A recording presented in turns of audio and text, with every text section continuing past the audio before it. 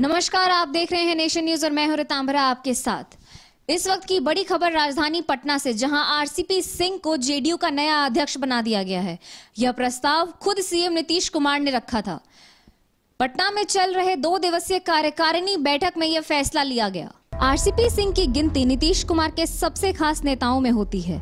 राष्ट्रीय कार्यकारिणी की बैठक में खुद नीतीश कुमार ने भी कहा कि आरसीपी सिंह संगठन का काम काफ़ी पहले से देख रहे हैं।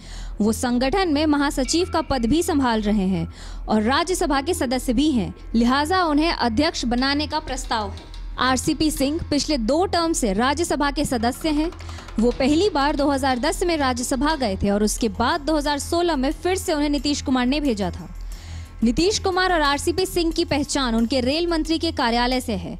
जब वो उनके निजी सचिव थे और उसके बाद जब नीतीश कुमार मुख्यमंत्री बने तो वह पाँच वर्षों तक उनके प्रधान सचिव रहे। आपको बता दें कि इस बीच राजनीतिक जानकारों का मानना है कि हाल ही में संपन्न हुए बिहार विधानसभा चुनाव में जदयू के निराशाजनक प्रदर्शन के बाद से ही कयास लगने शुरू हो गए थे कि आने वाले कुछ दिनों में पार्टी के अंदर बड़ा उलटफेर होगा।